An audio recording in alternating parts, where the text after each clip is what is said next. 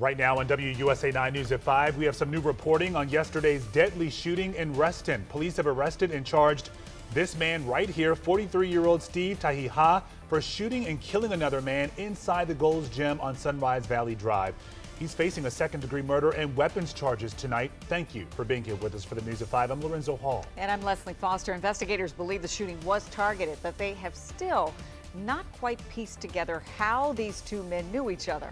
Our Leslie Moreno has spent the day working to learn more about what happened. She joins us live now from Reston with the latest on the investigation. So what do we know, Les?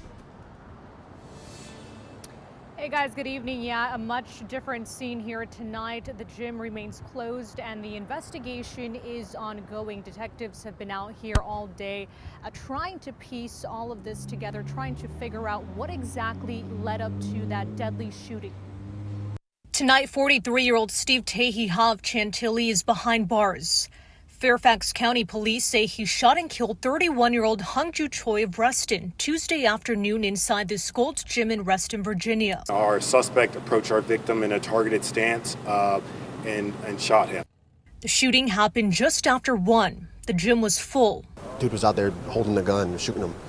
Uh, so I hid behind the pillar, uh, and then ran for my friend in the squad room. Police say they found Choi inside the gym suffering from gunshot wounds to the upper body. He was rushed to the hospital where he later died. Shortly after the shooting, witnesses told WUSA 9 that Choi was doing pull ups on a machine when the gunman approached him and shot him several times. I see his face in my head right now, him gurgling, trying to say something, and then it, like, it, it sucks, bit, it sucks even more because uh, we see him every day. Police say Ha fled the gym. He was arrested that same evening. Ha appeared in court this morning and tonight he's facing second degree murder charges. He is currently being held without bond.